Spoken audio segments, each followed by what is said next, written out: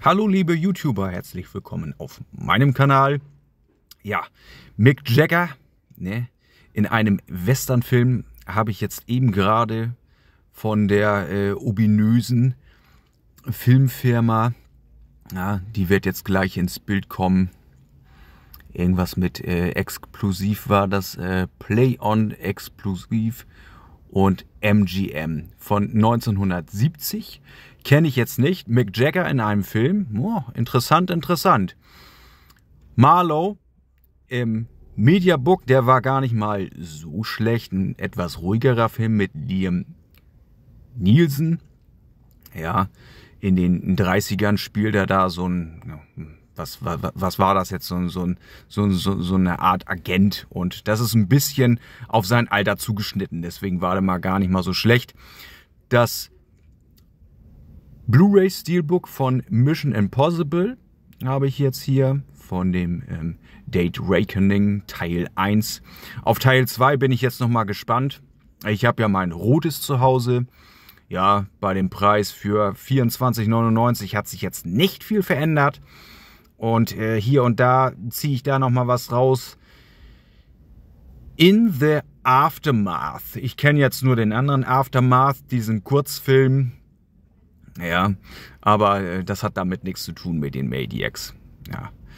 Gran Turismo zweimal für 16,99 Euro. Der war auch nicht schlecht. Eine Spieleverfilmung, die vom Spiel ein wenig abweicht. The Beast haben wir hier in Cover A bis Cover D. Variante auf 200 und 222 Stück limitiert. Der Tod wartet in Venedig, auch in drei hässlichen Mediabooks. Da habe ich jetzt nicht drauf geguckt.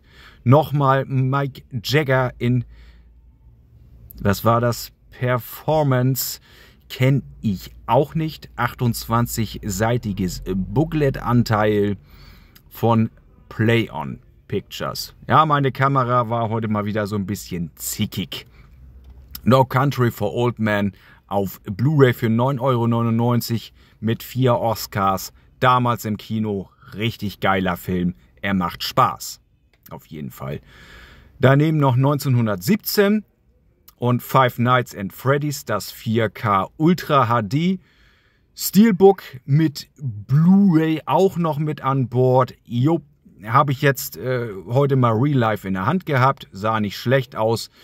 Good is a Bullet kenne ich auch nicht. 4K und Blu-ray Combo.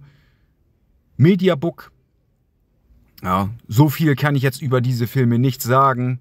Die äh, Jurassic World Filme gab es dann noch mit Jurassic Park da drin. Sylvester Stallone als Rocky im 4K Steelbook. Hier stimmt das immer noch nicht mit den Tonspuren. Die Tonspur soll etwas zu niedrig sein. Das kann natürlich vom äh, Blu-ray-Transfer kommen. Ne? Das kann durchaus vorkommen, dass das ein bisschen zu tief ist, aber ich finde da, es ist nicht so schlimm. Scarface in Ultra HD, Steelbook auch noch in 40 Universal. Forzi wollte ich gerade sagen, Forzi. Oh, und hier für die Tierliebhaber gibt es noch was. Boah, 870 Minuten schön viel Spaß mit kleinen Tierchen und auch große Tierchen. Ein ähm, bisschen was für das kleinere Publikum. Mit ein bisschen Blut, denke ich wohl mal. Ja. Wilde Dynastie 2 auch noch.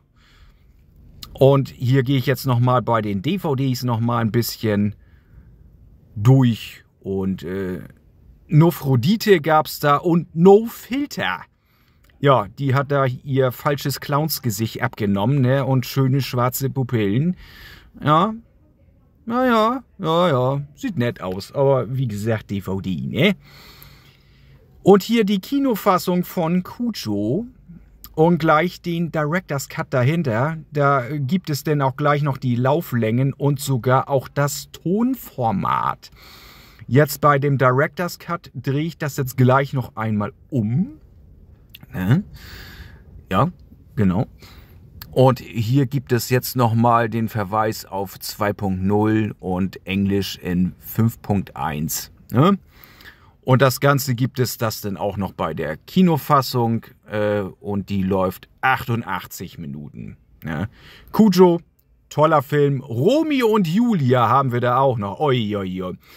Und True Lies, wahre Lügen, immer noch als DVD, gibt es jetzt aber bald als 4K und Blu-ray. Ne? Also äh, wer warten kann, der wartet da noch etwas ab. Ein Jackie Chan Mediabook. Ja, der Film sagt mir jetzt rein gar nichts. Ja.